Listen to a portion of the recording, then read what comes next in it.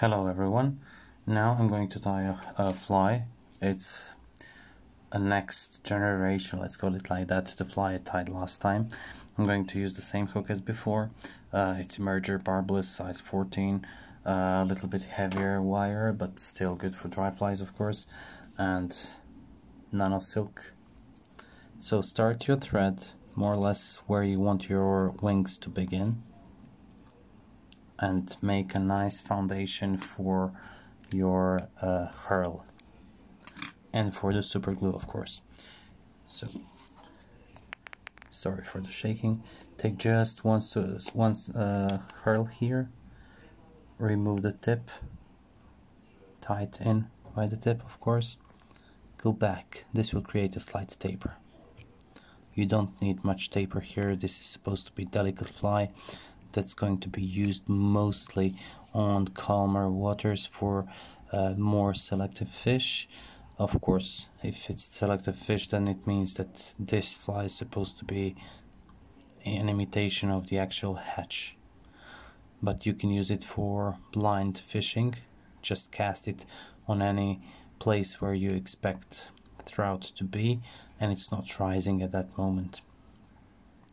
So this is probably more or less enough as a base layer. Now the same super glue again and it's enough to put a little bit of super glue at the back and then distribute it around the hook and to the front. This is gel so you have a little bit more time than with a thin one, you know. And this one doesn't go too much into the thread but still the thread will soak in this super glue. Uh, try not to use too much of it because it will uh, glue those uh, microbarbules from from the herl and it will destroy the appearance of your fly. But anyway your fly will going to catch fish. So I'm using my hands again. I'm not going to uh, to in in like two touching turns just like one next to each other uh, another and it's going to, to create like perfect little segmentation here. Now I can use rotational. Okay this is going to be enough. One two and one two. But the second pair of wraps completely unnecessary. Now I need to add CDC. I'm using three CDC feathers, smaller ones, light colored one at the top and darker ones at the bottom. So I, I aligned the tips previously. I'm going to pull all the fibers together like so. Just work it with your fingers and then lay it on the top of your hook like this. Make sure everything goes on the top. Create like UV shape. Okay. Extend your wings a little bit more over the bend of the hook. One two. Now press hard. And then check is everything okay? Should be okay.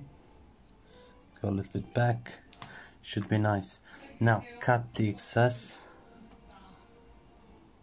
Okay. Okay. Now as you can see uh, it's cut by the angle.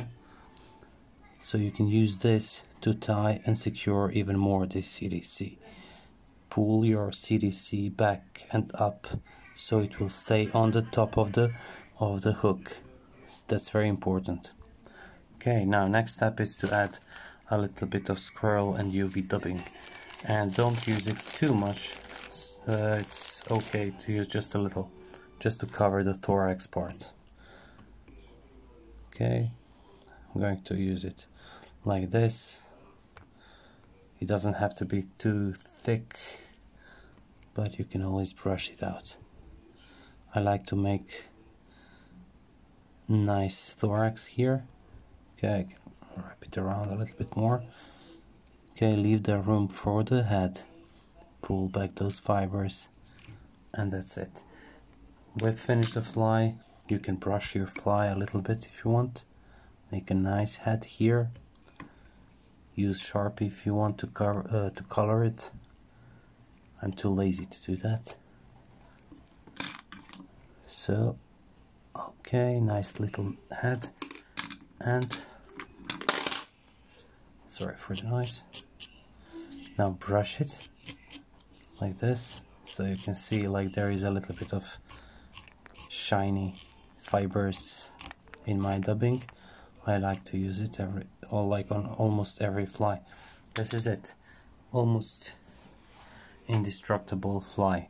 After a while of course fish will destroy this herl but you'll have more than enough fun on just one fly okay thank you very much for watching. I hope you enjoyed this video and see you next time